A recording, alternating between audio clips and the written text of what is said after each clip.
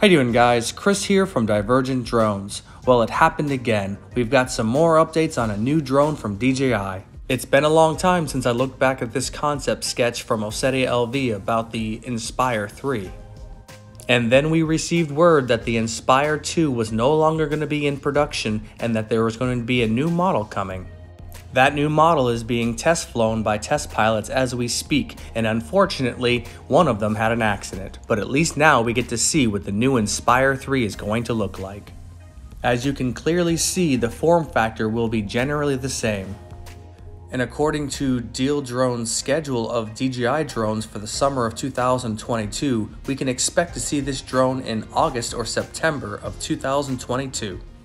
Unfortunately, there was no camera visible in the crashed drone, but we speculate that the new camera for the Inspire 3 will be the X7. It only makes sense to have a better camera than what's available on the market currently.